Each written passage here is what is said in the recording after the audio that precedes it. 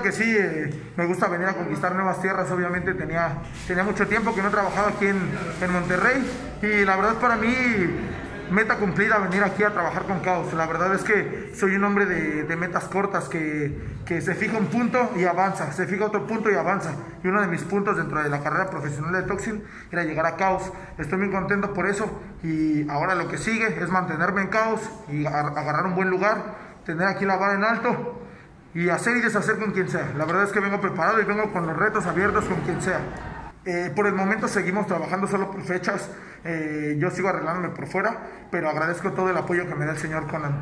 La verdad es que él, las puertas donde me abra, siempre vamos a responder. En este caso, mientras sea AAA, estoy muy agradecido porque nos dio triple manía. Eh, después nos pudo arreglar en el evento de Impact, que va de la mano con AAA. Entonces, todo lo que me está dando ahorita, yo lo estoy recibiendo con los brazos abiertos y respondiendo. Todavía no hablamos de un contrato, pero si se llega a ese punto, tenemos que ver bien qué cosas hay, porque la verdad es que a mí me gusta el trabajar independiente, me gusta venir con una promotora aquí, me gusta venir con otra promotora acá, y la verdad es que en todas empiezo desde ceros y empiezo a escalar, a escalar, a escalar. Entonces, si llega un punto en el que tengo que firmar con AAA, va a ser un punto que ya lo haya pensado bien y que haya buenos planes para Toxin.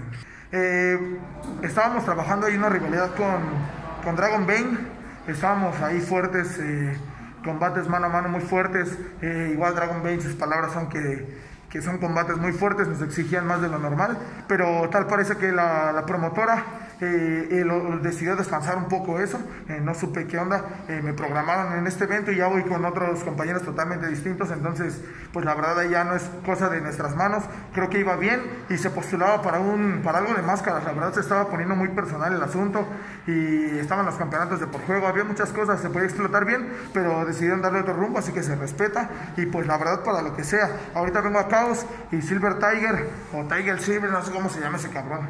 Se pone algo fuerte, nos vamos. Y la verdad es la primera vez que estoy con él en un ring, me gustaría que me dieran una revancha mano a mano con él.